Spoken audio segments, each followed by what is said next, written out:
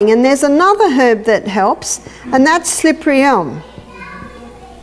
And as the name implies, when you put water with it, it goes a bit slippery. So really it's that one or that one because they both coat, soothe, heal and line the gastrointestinal tract.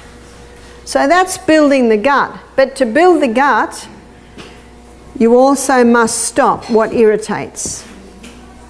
So these three here must be stopped. Now before I show you alternatives to those, because that's the good news, there is.